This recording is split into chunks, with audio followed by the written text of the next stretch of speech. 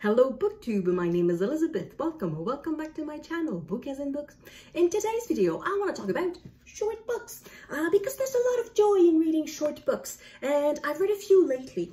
Uh, when, if you've seen my video, my book haul of when I went to Stratford or Toronto, well, I went to Stratford and I stopped by Toronto. I bought a bunch of short books and I've read a few of them. So I want to talk about them. So these are the books that I read basically in between booktube prize books, which were a bit heftier. So, uh, the first book, um, well, it's not the first one that I read, but it happens to be at the top of the pile uh, because it's the smallest in format. it is The Uncommon Reader by Alan Bennett. And if you're new to my channel, I keep the price tags on my books because I think it's relevant information. Relevant and mainly interesting. I think it's fun to know how much I paid for a book. Um, so this is the absolutely lovely, delightful story of Queen Elizabeth II, who is falling in love with reading if you know just a little bit about Queen Elizabeth II, you will not necessarily associate her with an with an intellectual. Um, she's not somebody who reads a lot. Uh, I should talk in the past. She's deceased now. Uh, she was not somebody who read a lot. And the situation in this book is that um, she sort of feels herself compelled to read a book. She doesn't really want to, but she has to, and she's a woman of her who, who does her duty. She feels she has to read a book by circumstances that in real life would never happen. And she reads the book, and it, it's just fine. And then she sort of kind of feels compelled to read another one and that one she loves. And then she finds another one, another one, another one, and she just falls in love with reading. And this is what would have happened had our queen been a voracious reader. Um, and it, this book is about the joy of reading. It's not about the queen, it's not about books, it's about the joy of reading. And it's just, it's so much fun. I recommend it. It's just delightful. If you need something, a little pick-me-up, this is going to pick you up. It's just, it's just so much fun. And there are corgis in there too, so it's fun. uh, next, we have something very different in tone. This is Mad Shadows by Marie-Claire Blais. So this is the first time, I think, that I read in English a book that was originally written in French. And the reason I chose that book is that it was uh, in a bag of uh, mystery books, a mystery bag of books. I bought 10 books for $10 without knowing what they were, and this was in the pile. And I'm very happy I read this. It's a very good book. It's a debut novel of this author, Marie-Claire Blais. Uh, she died, um, I think it was last year, or perhaps, yeah, I think it was last year in the fall of 2022. And I've never read any of her books. And she is uh, one of the great writers of Quebec, of French Canada. And I knew that she was a worthy read, but for some reason I had never read her. And now I have, I've read this one. Um, the title in French is La Belle Bête. So if we translate that word for word, it would be the beautiful beast. And that is the nickname of the youngest child in this book. So uh, the story is that of a mother, a single mother, and her two children. Um, at the beginning of the book, uh, the, the two children are rather young. Uh, the, the, youngest one is like 10 years old, I think, and the oldest one is a teenager, uh, 13, 14. Uh, but then it, it, doesn't say like that very long. Very quickly they grew up and um, they become teenagers, but in the late teens. And the situation in this family, the dynamic is that the mother is, is has money, but she's very vapid, very superficial. And the importance, what is important to her is to have money, is to have beautiful things, and it's all in the appearance. She's sort of a beauty queen, and for her, beauty is very important. The daughter is not beautiful. The daughter is ugly, and the mother does not love her daughter. And the boy is extremely beautiful. And the mother is in complete admiration of her son. He's the most wonderful thing that ever happened to her because he is so beautiful. And because he is so cuddled, always treated like a baby, he sort of remains a baby in a way. And he's an idiot. And the daughter, who is intelligent, resents all this attention that her brother has. And she resents this, um, the fact that she is discarded by, because she's not beautiful. Um, and beautiful beast, um, th there's a double meaning in beast. Uh, in French, it also means stupid. So it means beast like a, uh, an animal, but it also means stupid and that describes very much the personality or the uh, not so much the personality but the um yeah the the the the, the personality the, the character of the youngest character. Um so uh this is a novel that is set somewhat it, it's in the countryside unidentified countryside the, family lives in isolation of pretty much everything and they they are there's so much tension. It's very dark even though there are descriptions of bright sunshines and the light on on the uh, on the land on the lake and all of that. It's it's a dark book. It's a dark book. Bad things happen in this. Um yeah if you like books that are somewhat a bit it's a bit weird in a way because this this relationship between mother and children it's not it's not natural. It's not something you'd see in real life. Uh but it's it's it's very good. Anyway uh, I, I, don't, I don't think i'm doing credit to that book but it's very good. I recommend it. Um, and yeah the, the, the thing is i read this in english. Um, i did not feel anything particularly french canadian about the book so i don't know if it's because it was not in the original or if it's because it was lost in translation um, I haven't read the original, so I don't know, but I suppose that one day I will read the original because I think it would be worth it. So I want to read more of, by this author, by Marie-Claire Blais. Um, this is her debut, and it's a very good debut. Um, and it's, uh, yeah, it's, it's, it's weird, uh, but it's good. It's good. Next is uh, a, a bit less good, though the author is much more famous. Aiding and Abetting by Muriel Spark the, the, the, I have to use the F word for that book, and that particular F word is forgettable. Um, because I had to read the back of the book to sort of remind myself what it was about. And I read this less than a month ago, and I already forgot. what is this about again? And it's about a therapist who uh, receives a call and um, from a prospective client who claims to be Lord Lucan. And Lord Lucan has been missing for decades because he murdered his wife. His wife and children, just his wife. Anyway, um, no, uh, he killed the children's nanny and botched the killing of his wife. So anyway, he's wanted for murder and has been wanted for murder for decades. But because he's a lord, he receives the help of his friends who, who other lords who don't think he's a bad guy. Yeah, he killed someone, but he's not a bad guy, you know. But the thing is that this therapist, who could in theory call the police and say, hey, I have Lord Lucan with me, already has another patient who claims to be Lord Lucan. So this is a game of identity, of who's whom, of uh, doubles, of secret lives, and all of that. And while reading it, it was very enjoyable. It was a lot of fun to read it. But as I said, a month later, I forgot what it was about. And yeah, it's it's good, but it's not memorable. It's it, it's serviceable. You'll have a good time, but nothing else. It's it's unlikely to to bowl you over. So it's uh it's that. The next one. The next one, I think is it my favorite of the all the books? I think it's a, it's it's hard to compare because some books are so different from the others. But this this is a very very good one. Not Russian by Mikhail Shevelev, and it is translated from Russian by Brian James Baer and Ellen Vayner, and it is at Europa Editions. I've heard a lot of people talk about Europa Editions, and I've never paid attention before, but I think I'm going to pay attention now because this was good. So this is set in Russia, in contemporary Russia um, of the mid-2010s. Um, it, it's not written... The, the, copyright says 2022 for uh, the translation, but it doesn't talk about the original, so I don't know when the original was published. I think it was 2016, so it's it's quite recent. And the situation is that there is a hostage there's a hostage crisis. Somebody took people hostage in a church outside of Moscow in a suburb.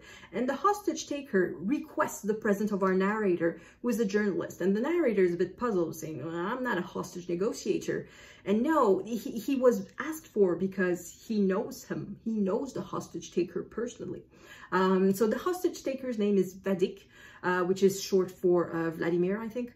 Um, and um, he he is our main character in, in a way. Uh, even though it's told from the point of view of the journalist, it's very much about Vadik and his life. And the way the journalist and Vadik met was that in the 1990s, the journalist went to uh, report on the situation in Chechnya. Officially, there was no war in Chechnya. And however, there were prisoner of wars. There were um, a few prisoners of war, and the journalist somehow played a role in having them freed. And one of them was Vadik. And we sort of learn about Vadik's life through the book there are a lot of flashbacks, the present, the past, the present, the past. And in the past, there are multiple pasts. So it's a multiple timeline kind of book. So if you don't like that, this is not going to be uh, to your taste. But um, what I loved about this book is, is that it, it reminded me of how chaotic the 1990s were in Russia.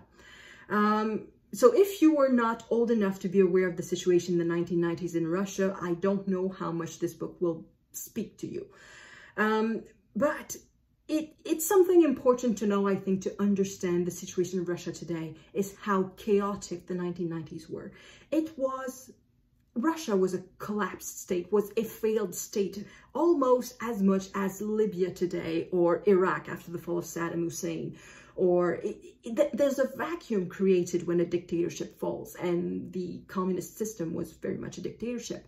So when the system fell, it was replaced by, officially by democracy, but basically by nothing. Um, so the police were corrupt, the officials were corrupt, uh, there was inflation like mad. So if you were retired and you had to live on a pension, your pension could not even buy you food for a week. Um, and I'm not even talking about transportation, which used to be free and now you had to pay for uh, lodging and anything else. So it was utter chaos. And that book reminded me of those years, that, not that I lived them personally, but I knew someone who lived them personally and through newspapers and I I, I sort of knew in a way how chaotic it was, but I had forgotten about that because that's what Vladimir Putin did, is that he created something else and people just forgot about the 1990s. But I think it helps to explain a lot why the people in Russia today don't mind Vladimir Putin, because the only experience they had of democracy was the 1990s, which was chaos. It was hell. Um, it was a very disagreeable time. And I don't blame people for saying Putin saved us because in a way he did. So in a way, I can sort of understand the admiration that a lot of people have for Putin in Russia. Um, I can understand why they think a dictatorship is preferable to democracy because the experience that they had, it, it's kind of true the um, the dictatorship is preferable to the, the democracy that they had. It was not a good democracy. So uh, I kind of understand that you to, to, to live your day-to-day -day life, living under Putin, it's not that bad compared to what it was to living under democracy in the 1990s. Uh, free speech is overrated, basically. Um, says the person who has a YouTube channel who who, who talks bad things sometimes about books and who says anything that he wants without any fear of repercussions. Uh, anyway, so, um, and now I've been talking about myself in the third person. Oh, God grief. Okay, this video should end. um, so anyway, this book reminded me of the chaotic 1990s, and it also puts a lot of perspective on the uh, hostage taker because a hostage taker. It's a bad person. And you um, you sort of see his point of view. And there's something that happens to this hostage taker that it is Vadik. There's some things that happen to him and it, it's about, uh, I don't want to spoil anything, but it, has to do with uh, something that happened with the authorities. And yeah, you end up having a lot of sympathy for the hostage taker. And you're not supposed to because he's a hostage taker. He's a bad person. He threatens to kill innocent people. Anyway, Anyway, so th this puts a lot of things in perspective. It sort of shows that uh, situations are not black and white. And anyway, I really, really love that book. So if you like any book that has like kind of a little bit of a political tangent to it, um, it's it's very good. And finally, uh, finally, it's three books. It is uh, this trilogy by Elie Wiesel. So this is Night, then this is Dawn, and then Day. So that's the order in which they were published, the order, the chronological order of the action in the books. Uh, however, it is a trilogy only in name, I think, much more than in content. There is a thread linking the books, uh, because in all three situations, the main character, I'm going to say character even though the first one is a memoir and the other two are novels, uh, but the main character in each book is a survivor of the Holocaust. But beyond that, th there's nothing to really link the books. So the first one is the, the essential one. Uh, it's Night. It's a memoir of Elie Wiesel going through the Holocaust. As any Holocaust memoir, it is extremely moving. It is, um, it's very sad. Um, it's not an easy read, but in a way, it's very good for you. Um, it's it's sort of food for the soul in a way. Even you read horrible stuff in there, but it's good for you. Um, so, um, and it's very interesting too. That It's well written and there's, it's like, like pretty much any book about the Holocaust is who lives and who dies. You want to know at the end who who survives. So does he ever meet his family again? Um, and anyway. So uh, the situation is that Elie Wiesel grew up in a small town, a small Jewish town, mainly in um, what was then Hungary. Uh, today, I don't know where it is. It was in Transylvania, and that's a region that sort of changed place uh, several times in the first half of the 20th century. So now, today, I don't know where it is anymore. So I don't know if that small town is still Hungary or if it's in Romania or some other country. Uh, but at the time, it was in Hungary, and the Jews of Hungary were rather protected. So until 1944, the Jews of Hungary basically had nothing to suffer, uh, even though their country, in theory, was allied with the Germans. Well, not in theory, they, the country was allied with Germany. But a bit like in Italy, um, the Jews didn't really have to suffer until the Germans took over. And the same thing happened in 1944. Basically, the Germans more or less took over and suddenly um, they had to deal not with the uh, Hungarian army, but with the SS. And so in the span of a very few weeks, um, as opposed to other countries where it took months or years, in a very few weeks, the Jews suddenly had to wear the yellow star, then they had to move in the ghetto, and then the ghettos were emptied. Um, and it happened very quickly, and that did not give them a lot of time to react. But for a long time, the Jews of Hungary thought, well, it's not going to happen to us, we're safe. It's not going to happen to us, we're safe. And um, except all the awe of the wars, which are, of course, the, the important thing of the book, what I realized reading this book for, for a second time, because I read this book when I was much younger and I read it in French, but I I cannot say I really remembered that much about it because at some point uh, when you read many Holocaust memoirs, they sort of blend into one another because the horror of Auschwitz is the horror of Auschwitz. Um, um, and I, anyway, um, what, what struck me this time around when reading this book is how impossible it is to make a smart decision when you don't have the information.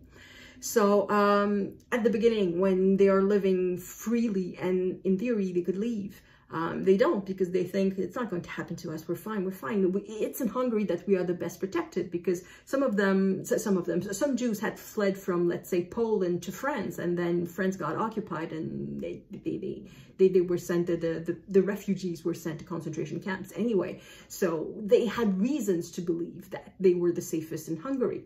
Uh, and then when it started being not true, uh, there was a former maid of the Wiesel family who offered them shelter in the countryside. I'll hide you, come, come, come to my place. I'll hide you, you'll be safe and people won't talk. And they decide to turn the offer down because in the ghetto, it's not that bad. They, they, they are still within their homes because their home was in the, um, in the ghetto. Uh, they have family members living with them, so they're not living with strangers. And it's not that bad. It's not that bad. And then, of course, they are transported to Auschwitz. Um, and then in Auschwitz, they make one smart decision because they are lucky in a way. A prisoner tells them to lie about their age. Uh, so tells that to Elie Wiesel and his father. So Elie Wiesel ages himself. He tells he's 18 and the father um, youngers himself. he makes himself younger and says he's just 45 and not 50 something. So um, they, they survived the selection. So that was a smart decision, but only because somebody gave them the information. Had no one told them that, they probably would have answered honestly and both of them would have been sent to the, to the gas chambers in all likelihood. But then again, we don't know. We can only know what happened. We don't know what could have happened. And so on and so forth like that. They have to make decisions and very often they don't have the right information. And what I was thinking was, if you knew who would live and die, at the end um, because Elie, Elie Wiesel's father does not make it. Um, he dies on the death march. And there was at a point earlier in the book when Elie Wiesel saves his father from beatings by giving away a gold tooth. And he says that he gave his gold tooth for nothing because the person to whom he gave it, so the, the capo who took it, was removed two weeks later. So he said, well, I gave it for nothing. And then I was sort of thinking, well, if you knew her father would die at the end, would, would you have kept it? The for nothing, was it the two weeks or was it the three, the, the, the, the full year that followed?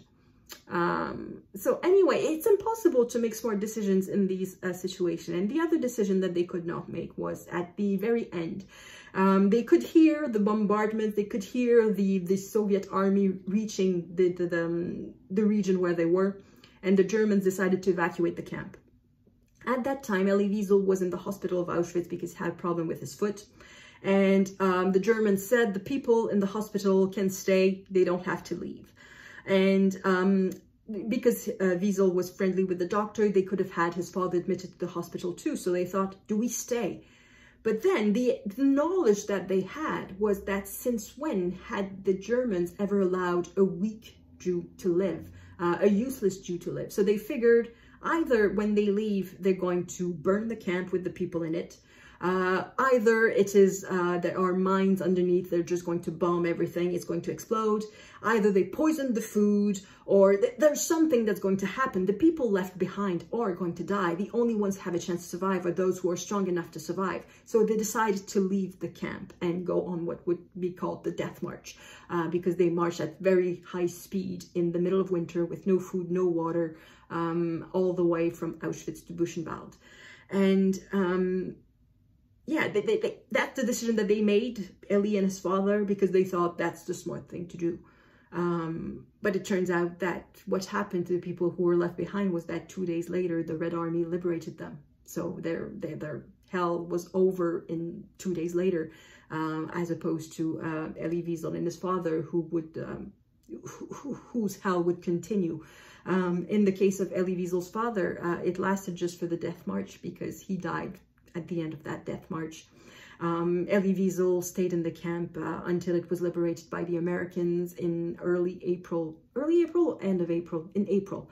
Uh, so he had to live through another three months of uh, concentration camp. So it's impossible to make a smart decision when you don't have the information. It's impossible to, to control your future, basically. Um, and even more in situation like this when you have already extremely little control on your own life. It's it, most of it depends on other people. So how, how many smart decisions can you really take? So th that was the thing that struck me on this reading of this book. Um, but yeah, it's it's you really should read this book. It's very good, and it's as I said, it's good for your soul. Um, the other two. The other two are novels, so they are not on the same level of you must read. Uh, but they are interesting too. So Dawn, of the three books, I think this one I liked the least, uh, the, the least. Um, so this one is very short, it's 80 pages, and it's set in uh, what is going to be, uh, in, in, what is today Israel. Um, at the time the book is set, it is in uh, Palestine under British protectorate.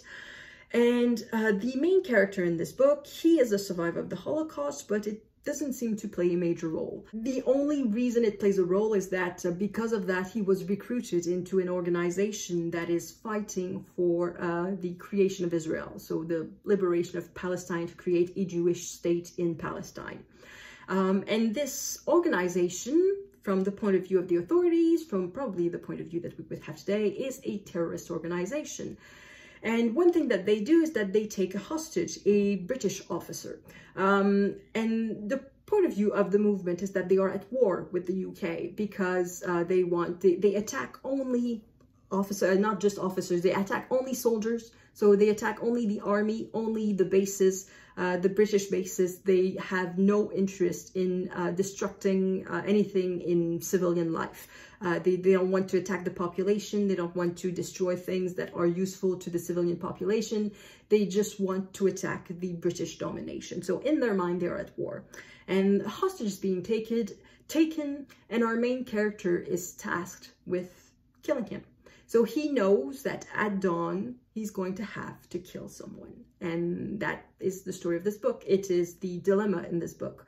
Um, somebody who knows what it is to be to, to see, who has seen a lot of people die, will now become the person who's going to inflict death.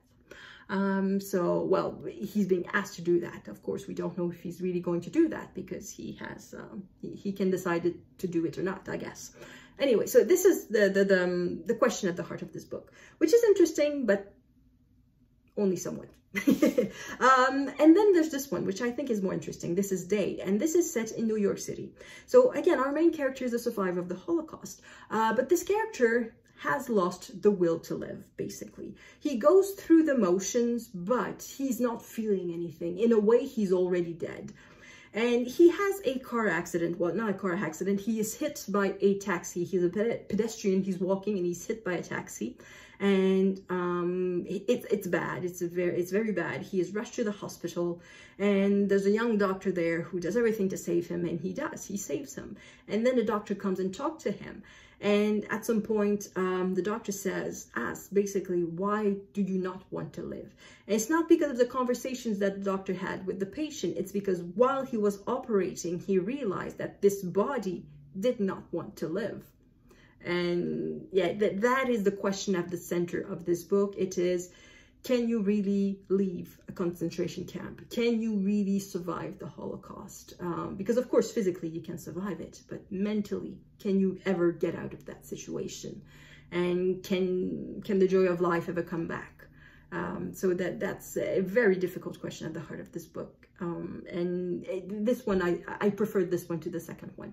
So uh, yeah, they. Uh, if you have another translation, it could be The Accident. It, it would be the same book. Uh, oh, I forgot to mention, uh, these three books are translated from French. Uh, so in the span of a single month, I read four books that were originally written in French and translated in English. I say originally, but this one, according to the um, to the introduction, uh, it was written in Yiddish uh, because Elie Wiesel's first language is Yiddish and when he grew up in Hungary, he lived in a Yiddish community and he was educated in Yiddish.